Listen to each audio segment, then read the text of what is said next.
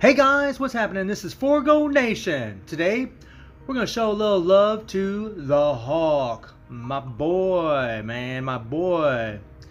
Eh, I still don't really care for this uni, but eh, it is what it is. By the way, guys, I might throw out a couple little spoilers from the Endgame movie. Uh, it's been out for a while now, guys. It's all good, man. You know, bring out the spoilers in the comments if you want. I mean, it's been long enough, so I might mention a few things from the movie that has to do with the Hulk or maybe something else. So let's get into the Hulk here and let's take a look at his build. He has 27,000 physical attack. He has 127 attack speed, max crit rate, 168 critical damage, max ignore defense, and max skill cooldown. He also has 60% dodge. He has all 5 star Urus, his first, third, and fourth gear are at 25. His second gear is at 20. All of his skills are at 6. He has a stage 6 Power by Hangry Hawk set. And he has a CTP of Rage. I thought this was only suiting for old boy. and he has a Mythic Uni. Now, guys, I want to just say something right now. I really enjoyed the Endgame movie. I, I I had a lot of fun. I laughed a lot. Uh, you know, shed a little tears. I mean, it, it was a good movie. But it does have problems, guys. And one of the problems that it has is the way they treated the Hulk. Uh, that guy that I saw in that movie, that was not the Hulk. That was Bruce Banner. That that I don't know who. It, it just just a big green guy that's smart because we didn't see any smashing whatsoever. Nothing. I was pretty bummed out. So let's do some smashing and take on GBR, and then let's take on who he should have got to fight at least a little bit in the movie, and that's good old Thanos. So let's rock and roll. So I don't know how you guys felt, but I was really bummed out that the Hulk didn't do really any fighting. I mean, that kind of sucked, man. By the way, we're running with uh, Nick Fury for his 50% all attack uh, leadership and that 55% damage dealt to supervillains, and we're using Wasp for that debuff in hopes that I don't kill anybody, uh, get mind control to kill anybody, or anybody kill us. And you see the team we got run with. Uh, Shirog, Human Torch, and Spider-Man, all tier 2s, so no debuff, nice. And then we have uh, Tier 3 Thor with Valkyrie and freaking Nick Fury. So that guy ought to be putting out some serious damage. Hopefully he doesn't kill us if he gets mind controlled. Because if he does get mind controlled, I'm pretty sure the God of Thunder is going to strike down the old hog. But this is what we should have seen more of in the movie, guys. Like, look, man. I actually, the the screwy thing was, I was actually enjoying Professor Hulk. I really liked him for a while. I was having fun with it. It was funny. I was enjoying it. But even, I mean, even in the big battle in the end of the movie, he doesn't do anything. Nothing. Zero. I mean, like, like a quick little glimpse of him. It's like, what the hell? Like, I, after what happened to him in Infinity War when Thanos beat the crap out of him, I really thought that Hulk would hopefully get some kind of redemption, but he didn't get anything. I mean, look, guys, Personally, I felt like the MCU completely crapped all over him. I was pissed, and I really think they crapped on Thor too. To be honest, you guys, I I wasn't happy with the way either one of those characters were treated. The other characters, I thought were treated beautifully, but you know, Captain America and Iron Man, Black Widow, uh, Hawkeye. I mean, those characters were treated well. You know, Captain America and Iron Man were treated amazing, but Hulk and I mean, Thor too. They just, oh my God, they crapped all over him. That's just my opinion. You know, let me know what you guys think. You know, were you happy with what you saw? You know, personally, I didn't want to be laughing at Thor, and I didn't really. I wanted Hulk to smash. You know, the moment where, you know, Bruce Banner finds out that Natalie, Natasha dies. You know, Black Widow he doesn't get angry or nothing. I was really hoping at that point he was going to get pissed off. You know, when when she died in the movie, I thought, okay, now the Hulk's going to get freaking pissed and he's going to tear some crap up. But no, he's just like, oh, I miss her. What? What? That's not the Hulk. And I realize this is a whole Elseworld story, but that's not the Hulk. I mean, good lord. I, I mean, and as a Hulk fan, I was just, oh, it just totally bummed me out. And again, same with Thor, guys. I was, man, all you Thor fans out there, I feel your pain. I feel your pain. I would be pissed if I saw that crap and I was a Thor fan. But that's just me, guys. That's just me.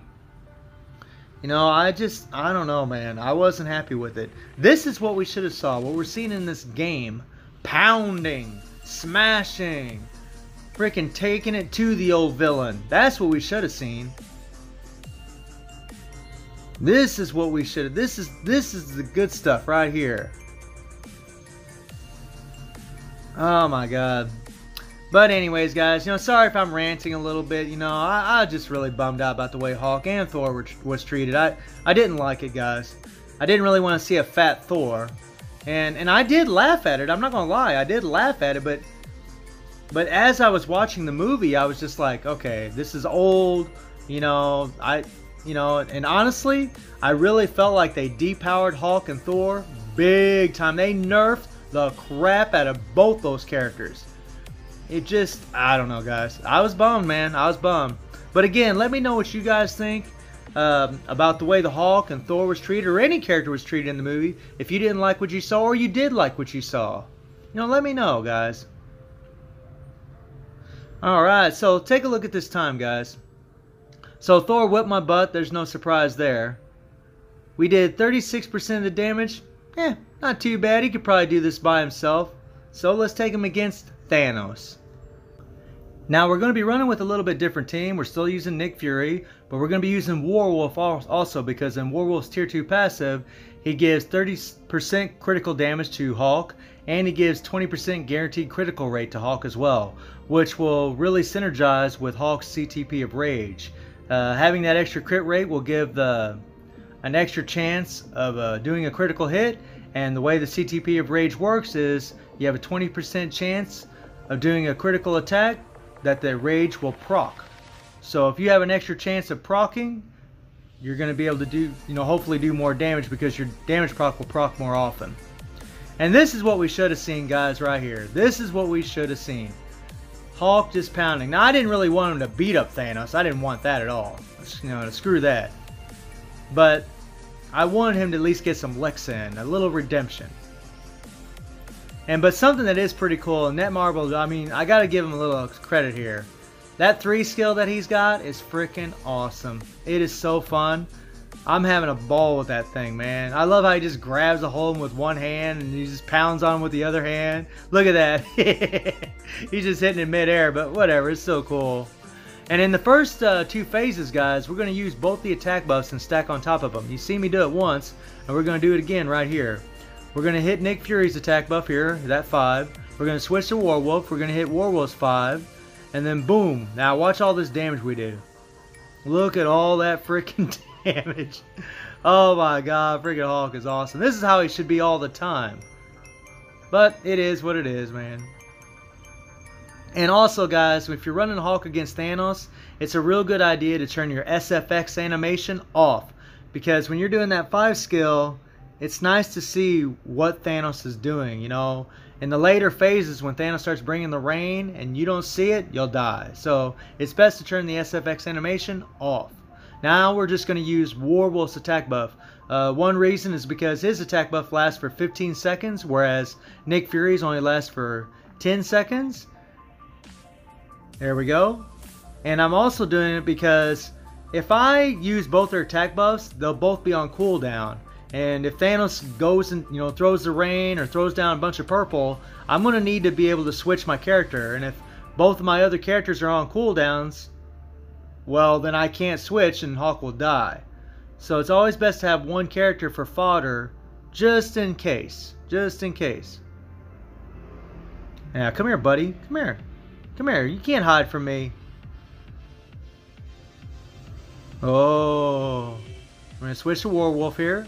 There we go. The Werewolf, you know, I mean, guys, I don't have him built worth a crap at all. I mean, he's like nothing. Ah, freaking message. He's he's not built at all. I use him strictly as a support. We're gonna hit that five and watch and watch. Oh yeah, where's my proc, man? Oh, you freaking punk. There, there, yeah, there's that three, guys. Look at that. That's so awesome. Freaking ignoring that iframe. I love it. That is so cool. So awesome. Whoa, whoa, switch, switch. Ah, crap, I'd have died right there. Yeah, something about Hulk, though, man. I've mentioned this before in previous videos. His defenses just aren't that good, guys. He cannot absorb those that purple attack. He cannot absorb it. At least mine can't. He, he'll die, man. He cannot take it. Which is kind of effed up, you know. Uh, Hulk should be...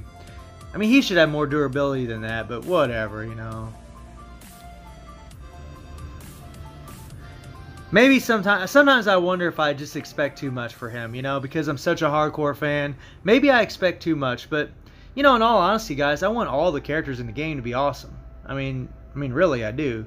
I don't want them to all be OP as hell, but some characters like the Hulk, who's done so much for Marvel Comics, uh, he should be. He should be. Whoa, whoa, whoa, whoa, whoa. God dang it, man. Freaking purple. Ah. Okay. There we go.